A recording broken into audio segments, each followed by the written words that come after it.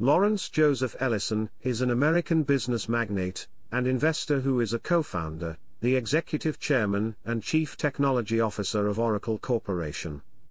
As of April 2021, he was listed by Bloomberg Billionaires Index as the ninth wealthiest person in the United States and as the tenth wealthiest in the world, with a fortune of $93.9 billion, increased from $57.3 billion in 2018.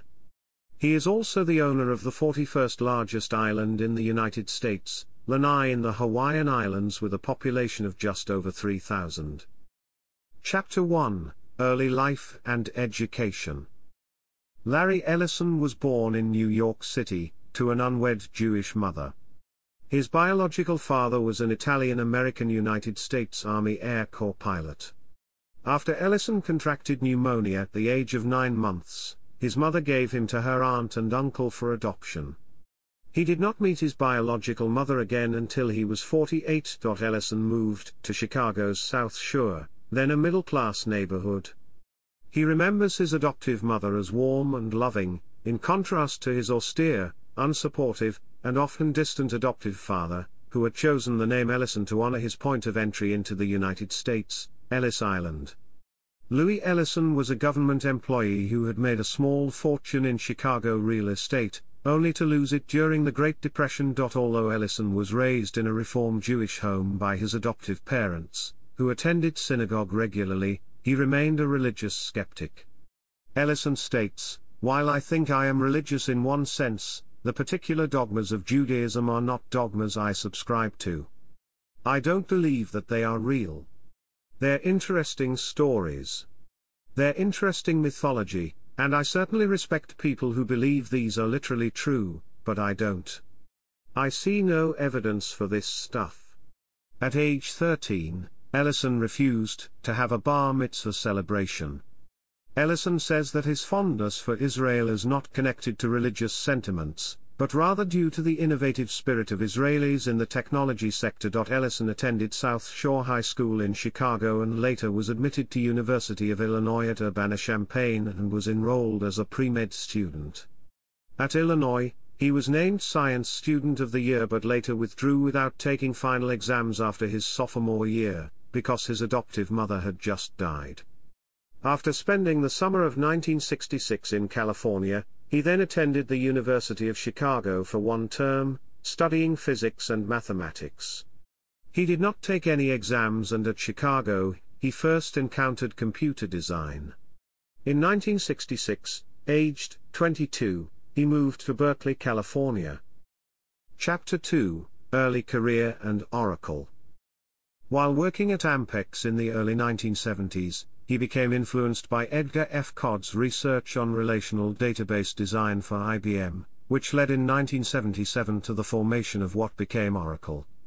Oracle became a successful database vendor to mid and low range systems, later competing with Sybase and Microsoft SQL Server, which led to Ellison being listed by Forbes as one of the richest people in the world. Chapter 2, Section 1, 1977 to 1994. During the 1970s, after a brief stint at Amdahl Corporation, Ellison began working for Ampex Corporation. His projects included a database for the CIA, which he named Oracle. Ellison was inspired by a paper written by Edgar F. Codd on relational database systems called a relational model of data for large, shared data banks. In 1977, he founded software development laboratories with two partners, and an investment of $2,000, $1,200 of the money was his.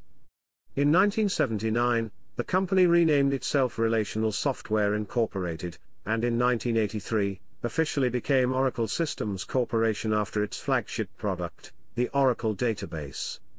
Ellison had heard about the IBM System R database, also based on Codd's theories, and wanted Oracle to achieve compatibility with it, but IBM made this impossible by refusing to share System R's code.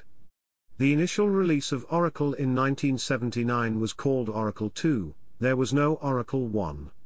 In 1990, Oracle laid off 10% of its workforce because it was losing money. This crisis, which almost resulted in the company's bankruptcy, came about because of Oracle's upfront marketing strategy, in which salespeople urged potential customers to buy the largest possible amount of software all at once. The salespeople then booked the value of future license sales in the current quarter, thereby increasing their bonuses. This became a problem when the future sales subsequently failed to materialize. Oracle eventually had to restate its earnings twice, and had to settle class action lawsuits arising from its having overstated its earnings. Ellison would later say that Oracle had made an incredible business mistake. Although IBM dominated the mainframe relational database market with its DB2 and SQL/DS database products, it delayed entering the market for a relational database on Unix and Windows operating systems. This left the door open for Sybase, Oracle, Informix, and eventually Microsoft to dominate mid-range systems and microcomputers. Around this time, Oracle fell behind Sybase. From 1990 to 1993, Sybase was the fastest growing database company and the database industry's darling vendor, but soon it fell victim to merger mania. Sybase's 1996 merger with PowerSoft resulted in a loss of focus on its core database technology. In 1993, Sybase sold the rights to its database software running under the Windows operating system to Microsoft Corporation, which now markets it under the name SQL Server. In his early years at Oracle, Larry Ellison was named an award recipient in the high technology category for the AA Entrepreneur of the Year program. Chapter 2 Section 2, 1994 to 2010. In 1994, Informix overtook Sybase and became Oracle's most important rival. The intense war between Informix CEO Phil White and Ellison was front page Silicon Valley news for three years. In April 1997, Informix announced a major revenue shortfall and earnings restatements. Phil White eventually landed in jail, and IBM absorbed Informix in 2001. Also in 1997, Ellison was made a director of Apple Computer after Steve Jobs returned to the company. Ellison resigned in 2002. With the defeat of Informix and of Sybase, Oracle enjoyed years of industry dominance until the rise of Microsoft, SQL Server in the late 1990s and IBM's acquisition of Informix software in 2001 to complement their DB2 database. As of 2013 Oracle's main competition for new database licenses on Unix, Linux, and Windows operating systems comes from IBM's DB2 and from Microsoft, SQL Server. IBM's DB2 still dominates the mainframe database market. In 2005, Oracle Corporation paid Ellison a $975,000 salary, a $6,500,000 bonus, and other compensation of $955,100. In 2007, Ellison earned a total compensation of $61,180,524, which included a base salary of $1 million, a cash bonus of $8,369,000, and options granted of $50,087,100. In 2008, he earned a total compensation of $84,598,700, which included a base salary of $1 million, a cash bonus of $10,779,000, no stock grants, and options granted of $71,372,700. In the year ending May 31, 2009, he made $56.8 million. In 2006, Forbes ranked him as the richest Californian. In April 2009, after a tug of war with IBM and Hewlett Packard, Oracle announced its intent to buy Sun Microsystems. On July 2, 2009, for the fourth year in a row, Oracle's board awarded Ellison another 7 million stock options. On August 22, 2009, it was reported that Ellison would be paid only $1 for his base salary for the fiscal year of 2010, down from the $1 million he was paid in fiscal 2009.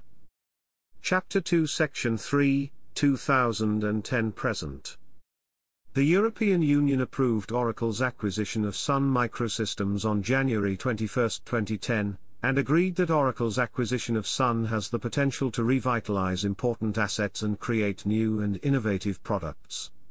The Sun acquisition also gave Oracle control of the popular MySQL open source database, which Sun had acquired in 2008. On August 9, 2010, Ellison denounced Hewlett Packard's board for firing CEO Mark Hurd, writing that the HP board just made the worst personnel decision since the idiots on the Apple board fired Steve Jobs many years ago. Then on September 6, Oracle hired Mark Hurd as co-president alongside Safra Catz. Ellison remained in his current role at Oracle. In March 2010, the Forbes list of billionaires ranked Ellison as the sixth richest person in the world, and as the third richest American, with an estimated net worth of 28 billion US dollars. On July 27, 2010, the Wall Street Journal reported that Ellison was the best paid executive in the last decade, collecting a total compensation of 1.84 billion US dollars. In September 2011, Ellison was listed on the Forbes list of billionaires as the fifth richest man in the world and was still the third richest American, with a net worth of about $36.5 billion. In September 2012, Ellison was again listed on the Forbes list of billionaires as the third richest American citizen, behind Bill Gates and Warren Buffett, with a net worth of $44 billion. In October 2012, he was listed just behind David Hamilton Koch as the eighth richest person in the world, according to the Bloomberg Billionaires Index. Ellison owns stakes in Salesforce.com, NetSuite, Quark Biotechnology Incorporated and Astex Pharmaceuticals. In June 2012, Ellison agreed to buy 98% of the Hawaiian island of Lanai from David Murdock's company, Castle & Cooke. The price was reported to be between $500 million and $600 million. In 2005, Ellison agreed to settle a four-year-old insider trading lawsuit by offering to pay $100 million to charity in Oracle's name. In 2013, according to the Wall Street Journal, Ellison earned $94.6 million. On September 18, 2014, Ellison appointed Mark Hurd to CEO of Oracle from his former position as president. Safra Catz was also made CEO, moving from her former role as CFO. Ellison assumed the positions of Chief Technology Officer and Executive Chairman. In November 2016, Oracle bought NetSuite for $9.3 billion. Ellison owned 35% of NetSuite at the time of the purchase, making him $3.5 billion personally. In 2017, Forbes estimated that Ellison was the fourth richest person in tech. In June 2018, Ellison's net worth was about $54.5 billion, According to Forbes. In December 2018, Ellison became a director on the board of Tesla Incorporated, after purchasing 3 million shares earlier that year. As of December 31, 2019, Ellison owns 36.2% of the shares of Oracle Corporation, and 1.7% of the shares of Tesla. In April 2020, he launched a wellness company Hawaiian Island Lanai called Sensei. As of June 2020, Ellison is said to be the seventh wealthiest person in the world, with a net worth of $66.80 billion. In December 2020, his net worth increased by $2.5 billion in a single week as Oracle's stock jumped by 4% between November 27 and December 4. Chapter 3 Personal Life Ellison has been married and divorced four times. Adda Quinn from 1967 to 1974. Nancy Wheeler Jenkins from 1977 to 1978. They married six months before Ellison founded Software Development Laboratories. In 1978, the couple divorced. Wheeler gave up any claim on her husband's company for $500. Barbara Booth from 1983 to 1986. Booth was a former receptionist at Relational Software Incorporated. They had two children, David and Megan, who are film producers at Skydance Media and Annapurna Pictures, respectively. Melanie Kraft, a romance novelist, from 2003 to 2010. They married on December 18, 2003, at his Woodside estate. Ellison's friend Steve Jobs, former CEO and co-founder of Apple Incorporated, was the official wedding photographer, and Representative Tom Lantos officiated. They divorced in 2010. Ellison made a brief cameo appearance in the 2010 movie Iron Man 2. In 2010, Ellison purchased a 50% share of the BNP Paribas Open tennis tournament. Ellison owns many exotic cars, including an Audi R8 and a McLaren F1. His favorite is the Acura NSX, which he was known to give as gifts each year during its production. Ellison is also reportedly the owner of a Lexus LFA. Chapter 3 Section 1 Controversies Ellison has courted controversy in the past with not always good-natured statements about rival businessmen, and firms his habit of hiring private detectives against rival firms and allegedly ex-partners has also made news. Chapter 3 Section 2 Yachts With the economic downturn of 2010, Ellison sold his share of Rising Sun, the 12th largest yacht in the world, making David Geffen the sole owner. The vessel is 453 feet N is long, and reportedly cost over $200 million to build. He downsized to Musashi, a 288-foot yacht built by Feadship. Chapter 3 Section 3, Yacht Racing Ellison competes in yachting through Oracle Team USA. Following success racing maxi yachts, Ellison founded BMW Oracle Racing to compete for the 2003 Louis Vuitton Cup. In 2002, Ellison's Oracle's team introduced kite yachting into the America's Cup environment. Kite sail flying lasting about 30 minutes was achieved during testing in New Zealand. BMW Oracle Racing was the challenger of record on behalf of the Golden Gate Yacht Club of San Francisco for the 2007 America's Cup in Valencia, Spain, until eliminated from the 2007 Louis Vuitton Cup Challenger Selection Series in the semi-finals. On February 14, 2010, Ellison's Yacht USA 17 won the second race of the 33rd America's Cup, after winning the first race two days earlier. Securing a historic victory, Ellison and his BMW Oracle team became the first challengers to win a deed of gift match. The Cup returned to American shores for the first time since 1995. Ellison served as a crew member in the second race. Previously, Ellison had filed several legal challenges, through the Golden Gate Yacht Club, against the way that Ernesto Bertarelli proposed to organize the 33rd America's Cup following the 2007 victory of Bertarelli's team Alinghi. The races were finally held in February 2010 in Valencia. On September 25, 2013, Ellison's Oracle Team USA defeated Emirates Team New Zealand to win the 34th America's Cup in San Francisco Bay, California. Oracle Team USA had been penalized two points in the final for cheating by some team members during the America's Cup World Series warm-up events.